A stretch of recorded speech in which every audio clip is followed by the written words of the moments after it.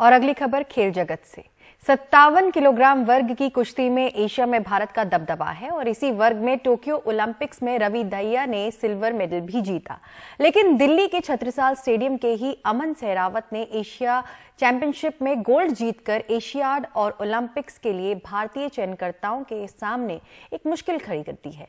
20 साल के अमन के माता पिता करीब 8 साल पहले चल बसे और अब वो अपनी छोटी बहन और परिवार के लिए ओलंपिक पदक जीतने का ख्वाब देख रहे हैं। अस्ताना में भारतीय पहलवानों ने 14 मेडल जीते सिर्फ़ एक गोल्ड मेडल जीता और वो अमन के नाम रहा। अमन आपके लिए बहुत बड़ी बात है क्योंकि वर्ल्ड नंबर वन को भी आपने हराया। कैसे आप देखते हैं इसको? इसी अखाड़े में रवि भी हैं सत्तावन किलोग्राम में जीता है। हाँ जी रवि भी है वर्ल्ड नंबर वन था उसकी वजह से मैं कुश्ती देखता था। टाई तो पहले ही आ जाती थी किसके साथ होनी है? हाँ। फिर मैंने उसकी पूरी रात कुश्ती देखी मतलब कि जो और के औरों के साथ होनी थी उनकी भी देखी है कैसे कैसे लड़ते हैं वे। कई कई बार देखी फिर उनकी कमी देखी फिर सुबह सिर्फ़ गोल्ड पर ही सोच के गया लड़ा था मैं। कितनी बड़ी बात है आपके लिए? आप हालाँकि अंडर 23 वर्ल्ड चैंपियन भी रहे लेकिन सीनियर लेवल पे एशिया का गोल्ड लेना मतलब आपके लिए ड्रीम जो है ख्वाब है सपने जो बड़े हो गए? हाँ ये बहुत मुश्किल था बहुत अच्छा लगा गोल्ड लेके लेकिन टारगेट तो ओलंपिक का है वैसे इतना ज़्यादा वो नहीं लिया मैंने इसको। अच्छा लेकिन आपके पे उससे पहले दो चैलेंज है। एक तो एशियन गेम्स आपको जीतना पड़ेगा और ओलंपिक्स क्वालिफाई करने के लिए आपको ओलंपिक मेडलिस्ट है रवि उनको हराना पड़ेगा।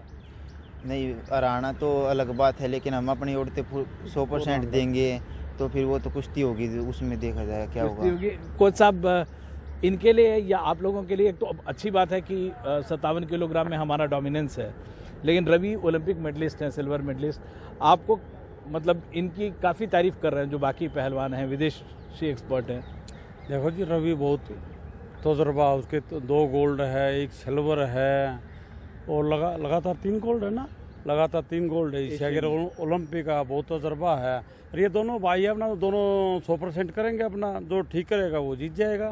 तो इसी मतलब आ, कोई आपस में ये नहीं लगता? नहीं कोई दोनों भाई यही तो खेल है। इसमें कोई नहीं हमारे सेंटर से पहले भी एक वतन में तीन तीन चार चार पहलवान रहे एक नंबर के जैसे नेशनल हुआ तो नेशनल पहले से लेके फिफ्थ पोजीशन तक इसी छत्रसाल स्टेडियम के पहलवानों की पोजीशन आई है। अमन बहुत टफ है सर। देखिए इनके मदर नहीं है फादर नहीं है।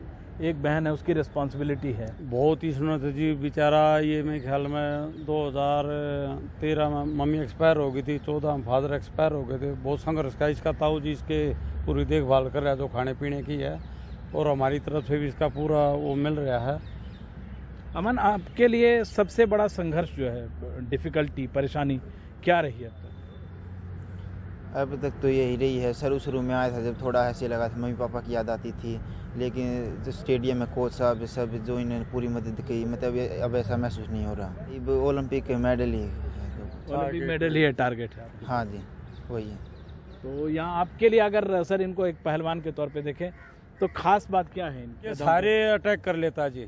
लेग अटैक ऊपर से अपने जो भी जैसी पोजिशन अगला पहलवानों कह रहे हैं ना मैंने सारी कुश्ती देखी है जो वर्ल्ड चैंपियन होता हो तो उनकी ये फ़िल्म देखते रहते हैं उसी में ये अटैक करना है डिफेंस करना है ये अच्छा, पूरी अगले की पूछे आप रवि इससे कितना कुछ सीखे और क्या अलग है उनसे नहीं अलग तो है वे सीनियर पहलवान है उन्हीं की कुश्ती देखते हैं मतलब क्या कमी है हमारे में और उसमें लेकिन आप में क्या अलग है उनसे उनसे अलग तो कुछ नहीं मतलब वही है जो। हाँ जी उसकी भी चलाने की कुश्ती है मेरी भी चलाने की कुश्ती है।